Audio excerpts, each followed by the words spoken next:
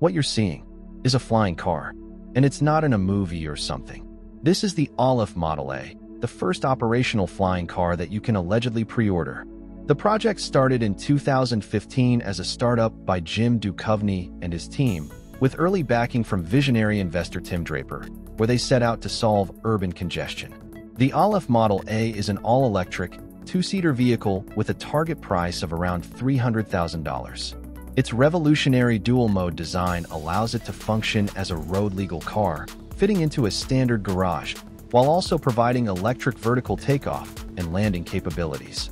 The vehicle is powered by a distributed electric propulsion system, using eight electric motors and eight propellers hidden beneath its mesh-covered carbon fiber body, giving it both safety and redundancy.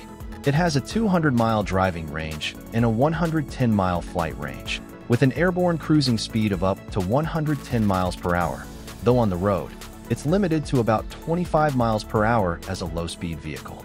When it takes off, the entire body rotates 90 degrees, turning its sides into wings for efficient forward flight, while the cockpit stays level inside a gimbaled sphere, giving passengers a panoramic view. Safety is a major focus.